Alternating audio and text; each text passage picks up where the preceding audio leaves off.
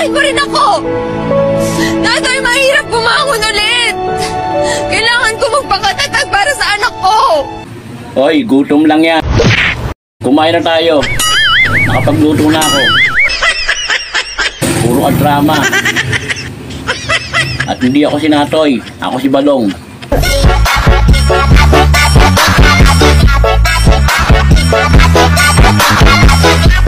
Kaunting kaalaman. Alam nyo ba na ang salitang Pasko ay halaw sa mga salitang pas at ako? Kaya sa mga hihingi sa akin ng aginaldo, pas ako.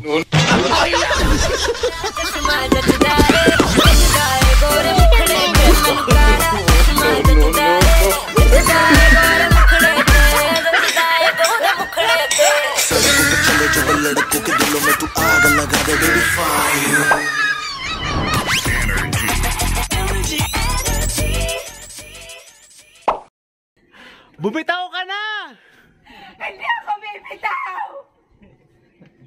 Kaya mo yan! Isipin mo, hindi ka na niya mahal! Sinungaling ka! Niloloko ka lang niya!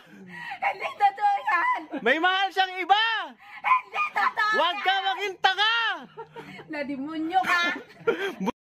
Akin na lisensya mo! Papatayin mo kami? Papatayin mo kami? Pag pulang-pula mata mo, nakadrugs ka ba? Ah? Akin na lisensya mo. Nanginginig na ako sa'yo. Ah, Ikaw pala yung kabit ng asawa ko.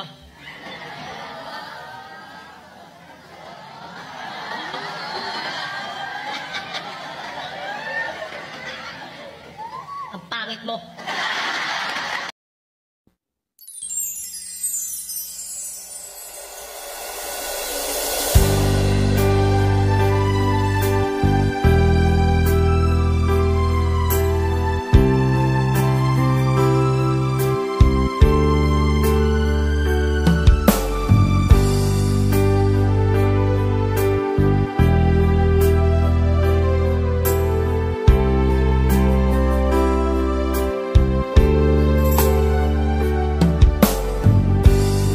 Sa isang gabi at di mapakali.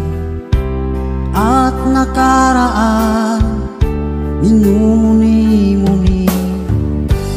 Di lubos maisip bakit nagkalayo. Kaya ngayon ako'y isang bigo. Nagkulang ba ako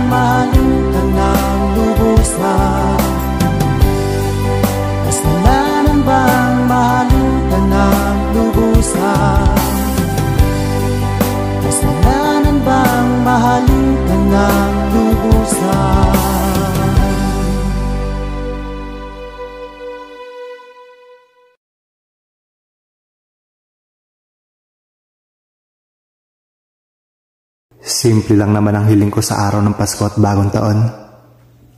Ang makita ulit ang sarili ko na masaya. At makitang nasa mabuting kalagayan ng pamilya ko. At higit sa lahat, malampasan ko lahat ng mga problema sa buhay ko. Hindi ako nagbago. Sa dami ng naranasan ko ay natutunan lang ako na umiiwas sa mga taong hindi ako pinapahalagahan at hindi ako binibigyan ng atensyon. Kasi sa huli, kahit anong pagmamahal at atensyon binibigyan mo sa kanila, kapag hindi ka mahalaga sa kanila, babaliwaliin ka lang nila. Paano sasabihin sa'yo ang nagdaan Mga pag-ibig ko Panandalian lamang Hiyakap at halik Sa aking nakamtan Bago pa kita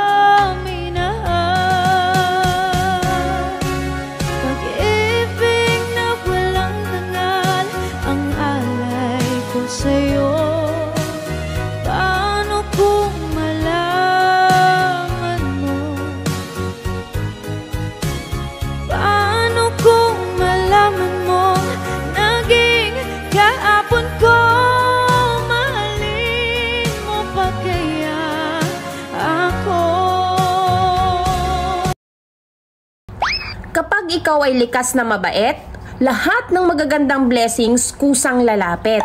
Pero kung ikaw ay malditang punong-puno ng inggit, nako, germs ang kakapit.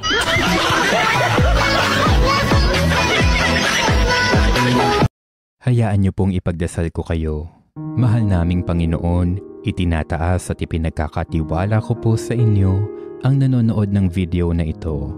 Pangalagaan niyo po siya at ingatan, punuin mo po siya ng iyong grasya at pag-ibig. Pagpalain niyo rin po sana siya at ipagkaloob ang lahat ng kanyang pangangailangan at mga kahilingan. Palakasin niyo rin po siya at patatagin, lalo na sa panahon ng matinding pagsubok. Alisin mo rin po ang kanyang takot at mga pangamba. Damayin mo sana siya at tulungan sa lahat ng pagkakataon. Palalimin niyo po ang kanyang pananampalataya sa iyo at bigyan niyo po nawa siya ng kapayapaan at kapanatagan sa araw-araw. Maraming maraming salamat po Panginoon sa lahat-lahat.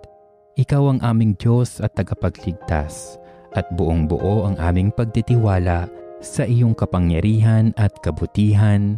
Amen.